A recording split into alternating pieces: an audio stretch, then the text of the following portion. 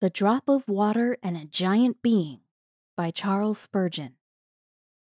Within the compass of a drop of water, we are told that sometimes a thousand living creatures may be discovered. And to those diminutive creatures, no doubt, their size is something very important.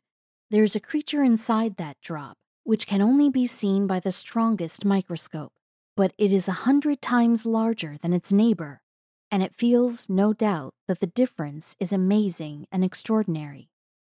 But to you and to I, who cannot even see the largest of these creatures with the naked eye, the larger animalcule is as imperceptible as his dwarfish friend. They both seem so utterly insignificant that we squander whole millions of them and are not very penitent if we destroy them by thousands. But what would one of those little imperceptible animals say if some prophet of its own kind would tell them that there's a giant being living that would reckon the whole world a drop of water as nothing, and could take up ten thousand thousand of those drops and scatter them without exertion of half its power?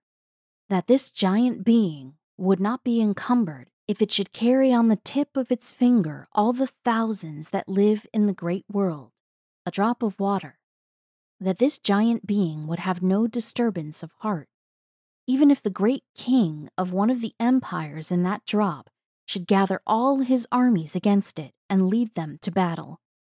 Why, then the minuscule creatures would say, How can this be? We can hardly grasp the idea.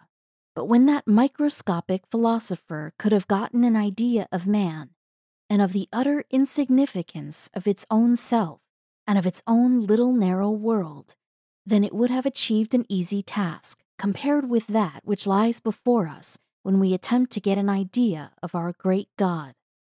We think of the infinite nature of God in being able to marshal all the stars and govern all the orbs which bespangle the brow of night but I take it to be quite as great a wonder that he should even know that such insignificant nothings as we humans are in existence, much more that he should count every hair of our heads and not allow one of them to fall to the ground without his express decree.